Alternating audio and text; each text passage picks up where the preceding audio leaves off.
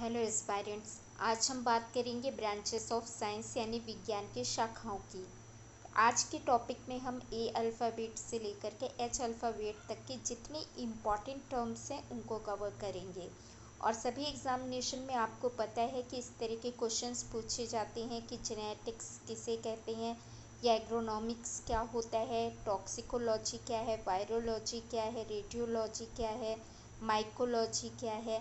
इस तरह के जो क्वेश्चंस हैं, वो काफ़ी इंपॉर्टेंट रोल प्ले करते हैं। और ये मिसलेनियस का ही पार्ट माना जा सकता है साइंस के अलावा। तो आपको ये टॉपिक तो अच्छे से याद होता है, रटा हुआ होता है, लेकिन मैं चाहूँगी कि आप रटें नहीं, बल्कि इन्हें डायग्राम्स के थ्रू और कॉन्सेप्ट के थ्रू समझें, ताकि आपको कभी भी कंफ्यूजिंग ना लगे और सारी चीज़ें क्रिस्टल क्लियर हो और आपका एग्ज़ाम में आंसर्स बिल्कुल सही हो। तो इसके लिए आपको Irina Baghel YouTube channel subscribe कर लेना है ताकि आपको इंपॉर्टेंट वीडियोस की अपडेट्स मिलती रहें। सब्सक्राइब कीजिए और इसे शेयर कीजिए ताकि मैं और अच्छे वीडियोस बनाने के लिए मोटिवेट होती रहूँ।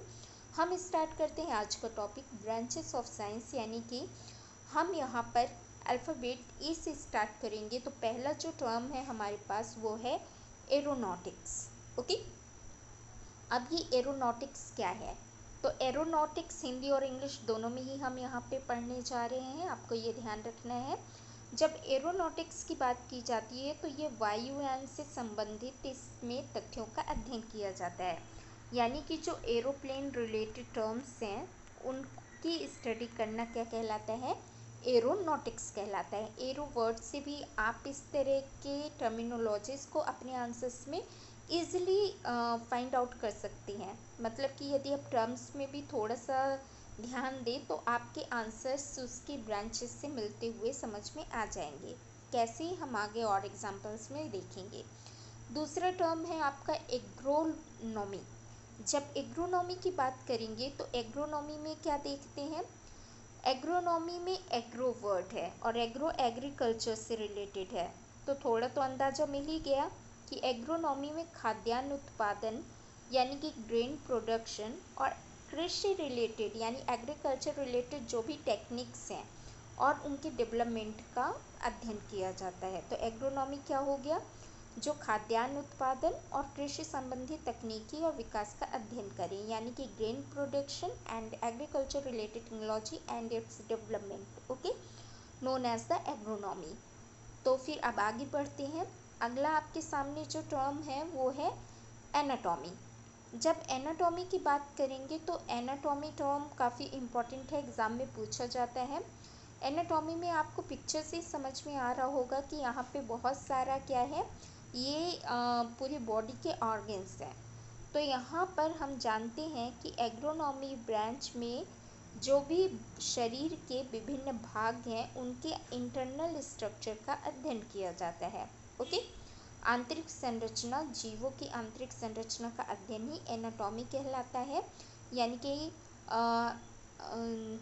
study of the internal organs of organism okay ना नेक्स्ट नेक्स्ट इज़ आर्कियोलॉजी बहुत ही इंटरेस्टिंग टर्म है। इस साल काफ़ी चर्चा का भी विषय रहा है।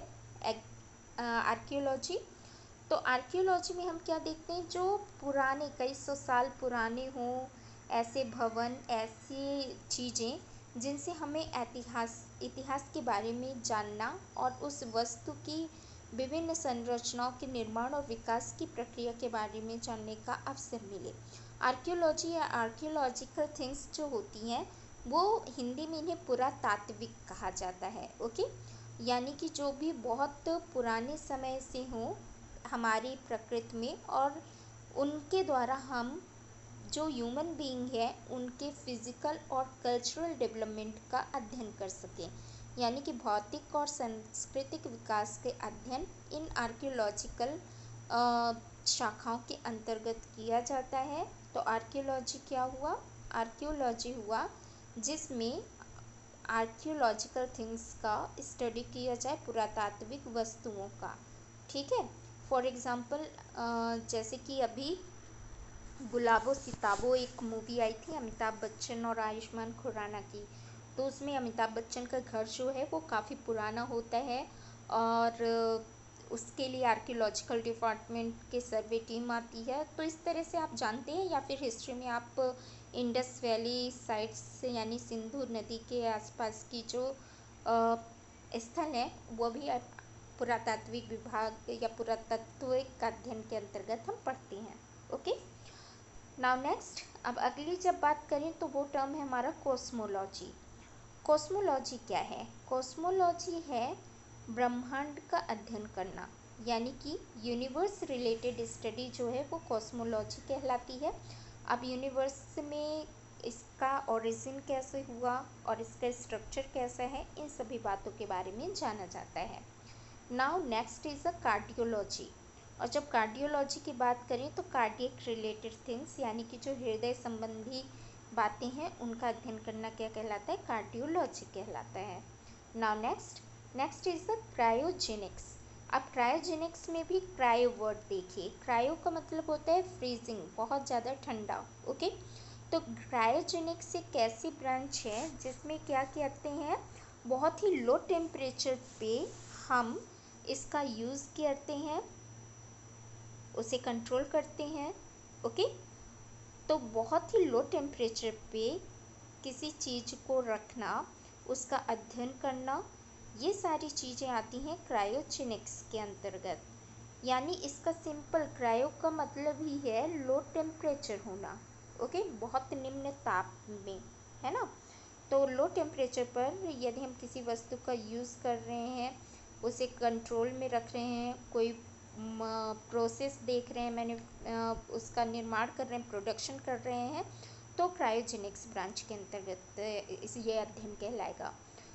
फॉर एग्ज़ाम्पल यदि आप रिसर्च में थोड़ा बहुत इंटरेस्ट रखते हैं, ठीक है तो वैज्ञानिक गतिविधियों में हम इसे बहुत यूज़ करते हैं। हम क्या करते हैं कि जो सेल लाइंस हैं मतलब बहुत सिंपल चीज़ बता रही हूँ, बहुत ही सरल शब्दों में। जो सेल लाइंस हैं, यानी कि जो टिश्यूज़ हैं, जो सेल हैं, जब हम सेल कल्चर करते हैं तो सेल कल्चर में मोनोकोलोनल बॉडीज़ या फिर सेल कल्चर की चीज़ों को हम बहुत ही लो टेम्परेचर पे, यानी कि लिक्विड नाइट्रोजन वो होता है और उसका टेम्परेचर बहुत ही लो होता है minus one twenty seven degree Celsius से के अप्रॉक्स होता है। उस टेम्परेचर पे हम उन सेल लाइंस को उन प्रोडक्ट्स को रख देते हैं ताकि वो लंबे समय तक ख़राब ना हो, ठीक है? तो ग्रायोजेनेसिस कहलाती पूरी प्रोसेस और उसका पूरा स्टडी करना क्रायोजेनिक्स कहलाता है। नाउ नेक्स्ट बहुत ही इजी टर्म इकोलॉजी इकोलॉजी को हिंदी में कहा जाता है इकोलॉजी ओके इकोलॉजी को जस्ट अभी टर्म दिमाग से निकल गया पारिस्थितिकी यस पारिस्थितिकी हिंदी में कहते हैं इसे। तो इकोलॉजी में क्या कहते हैं? क्या करते हैं? पारिस्थितिकी में आपको स्पष्ट है कि पारिस्थितिकी में जो जीव जंतु हैं, उनका वातावरण के साथ, यानी कि ऑर्गेनिज्म का रिलेशन विद द एनवायरमेंट अध्ययन करना इकोलॉजी कहलाता है okay now next is the entomology बहुत ही प्यारा टर्म है इंटोमोलॉजी इंटोमोलॉजी की बात करें तो यहाँ पर जो कीट होते हैं, कीट डैट मीन्स इंसेक्ट ओके तो जो इंसेक्ट्स होते हैं, उनका अध्ययन करना क्या कहलाता है? इंटोमोलॉजी कहलाता है. अब यहाँ पे तितली की फ़ोटो है तो ये पीसीएस का क्वेश्चन है. सीजीपीसीएस में पूछा गया था सीजीपीएससी में, कि तितली क्या है? तो butterfly is a insect okay ये इंसेक्ट है. ये भी क्वेश्चन याद रखना है. Now next is a gerontology अब इसका यहाँ पे मैंने डायग्राम नहीं दिया है। जेरेंटोलॉजी का मतलब है वृद्धा अवस्था यानी कि ओल्ड एज जो होती है ओके तो ओल्ड एज की जो स्टडी होती है, उसे कहा जाता है जेरेंटोलॉजी क्लियर अब आप इस चैनल को सब्सक्राइब कीजिए तो ऐसे ही आपको चीज़ें समझ में आएँगी जो कि रटनी नहीं पड़ेंगी, एक बार देखा और हमें हमेशा के लिए याद हो गई। नाउ नेक्स्ट टर्म है हमारा जेनेटिक्स जब हम जेनेटिक्स की बात करते हैं तो क्या देखते हैं? जेनेटिक्स में जो अध्ययन किया जाता है किन चीज़ों का आनुवांशिकी का इसे हिंदी कहा जाता है। तो जेनेटिक वो फ़ील्ड है, वो शाखा है साइंस की वो ब्रांच है, जो कि जनरेशन टू जनरेशन यानी पीढ़ी दर पीढ़ी डीएनए या फिर किसी भी आनुवांशिक इकाई के स्थानांतरण का अध्ययन करती है। शॉर्ट में समझाती हूँ। पहले डेफिनेशन देखिए। Okay genetic is the branch of the science which deals with the hereditary structure transfer from one generation to next generation यानी कि ये हमारी यदि कोशिका है सेल है, और सेल में ये केंद्रक है, यानी न्यूक्लियस तो यहाँ पे ये डीएनए है।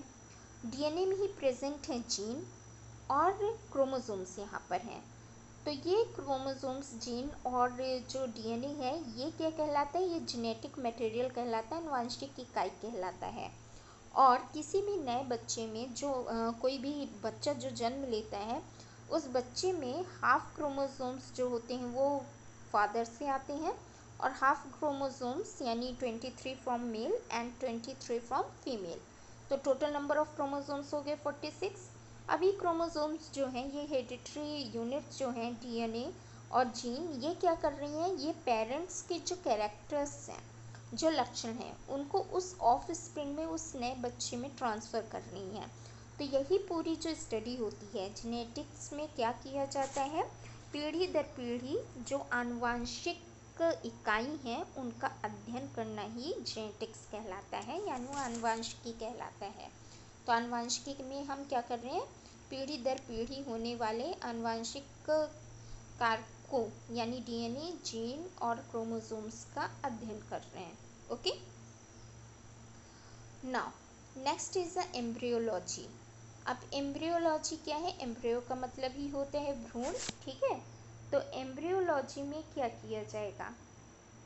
एम्ब्रियोलॉजी में भ्रूण की उत्पत्ति, यानी कि एम्ब्रियो ओरिजिन ओके? उसके टाइप्स यानी कि प्रकार और उसकी संरचना। इन सभी चीज़ों का अध्ययन किया जाता है वो ब्रांच कहलाती है embryology now next epidemiology the most important term बहुत इंपॉर्टेंट है। अब इसका डायग्राम तो इमेजिन uh, करना मुश्किल था पर इसका एग्ज़ाम्पल बहुत सॉलिड है। सबसे पहले समझिए एपिडोमोलॉजी है क्या जिसमें महामारी का अध्ययन किया जाता है और उसकी रोकथाम के उपाय बताए जाते हैं। फॉर एग्ज़ाम्पल कोरोना रिसेंटली जो कोरोना है, ये क्या है? एक तरह की महामारी है, ठीक है? तो इसका अध्ययन करना, इसके रोकथाम के उपाय करना एपिडोमोलॉजी है okay epidemiology now next is a histology अब हिस्टोलॉजी क्या होता है? एग्ज़ाम में कई बार पूछा गया है तो इसमें टिश्यूज़ का अध्ययन किया जाता है, ऊतकों का अध्ययन करते हैं। ऊतक क्या है? A group of the cell is called tissue कई बार एस एस में पूछा गया है कि ऊतक क्या होते हैं तो कोशिकाओं का समूह ऊतक कहलाता है, ओके? फिर से रिक्वेस्ट है, ये चैनल आप सब्सक्राइब करें, ताकि आपको ऐसी इंटरेस्टिंग चीज़ें मिलती रहें पढ़ने के लिए। Now next is a horticulture horticulture क्या है? ये एग्रीकल्चर का एक ब्रांच है। कृषि की एक शाखा है, जिसमें फल, फूल और सब्जियों का अध्ययन करते हैं, ठीक है? फल का अध्ययन करेंगे, फूल का अध्ययन करेंगे, है ना? और इस तरह से सब्जियों का अध्ययन। तो ये सारी चीज़ें क्या कहलाती हैं? ये कहलाती हैं horticulture. Now last is a hydrology. Hydrology क्या है? हाइड्रो शब्द है मतलब कि रिलेटेड टू द वाटर। तो वाटर का जो डिस्ट्रीब्यूशन है, अर्थ पे वाटर से रिलेशन है, अर्थ पे जितना वाटर है, उन सभी चीज़ों की स्टडी करना हाइड्रोलॉजी कहलाता है। ओके? तो ये हमारा डायग्राम के साथ पूरा का पूरा एनालिसिस था। होप सो आपको काफ़ी हेल्प करेगा। और इस तरह यदि मुझे इस वीडियो में अच्छा रिस्पांस मिला तो मैं आगे बाकी भी इंपॉर्टेंट टर्म्स जो हैं, जो कि लॉजी है, जो स्टडीज़ हैं, जो ब्रांचेस हैं, उनके वीडियोस बनाऊँगी। Thank you so much